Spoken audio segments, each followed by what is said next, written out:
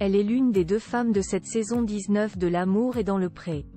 Le 22 janvier 2024, les téléspectateurs de M6 auront le plaisir de découvrir Karel. Une femme qui n'a pas eu peur de changer de vie, même si cela a brisé son couple. La suite après la publicité le 22 janvier prochain, M6 diffusera la dernière soirée des portraits de l'amour et dans le pré 2024.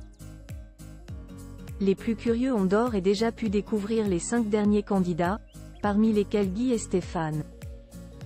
Karel se livrera également à Karine Le Marchand. En attendant de la découvrir, voici les informations à retenir du communiqué de presse de la chaîne. L'éleveuse de vaches allaitantes et de volailles bio de 41 ans est décrite comme une femme solaire, pétillante, indépendante, inspirante et courageuse. À l'âge de 30 ans, elle a quitté son travail de bureau afin de créer son entreprise de A à Z.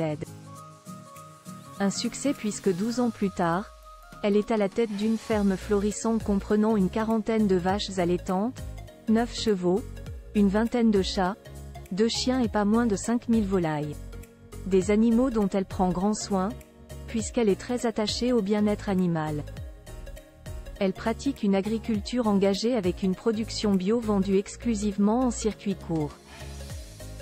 Une vie amoureuse au point mort pour Karel quand elle ne s'occupe pas de son exploitation.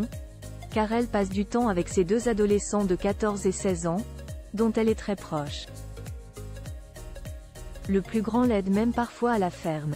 C'est lorsqu'elle a lancé sa nouvelle activité que elle agricultrice s'est séparée du papa. Depuis, elle a connu quelques relations, mais le terrain de l'amour est principalement resté en jachère, peut-on lire. La mère de famille, qui a construit son nouveau nid douillet non loin de son exploitation, rêve aujourd'hui de retrouver l'amour avec un grand A et compte sur l'amour et dans le pré pour que sa situation amoureuse change.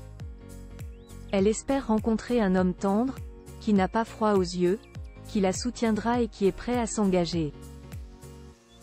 Il devra également aimer les animaux bien entendu. La suite après la publicité La suite après la publicité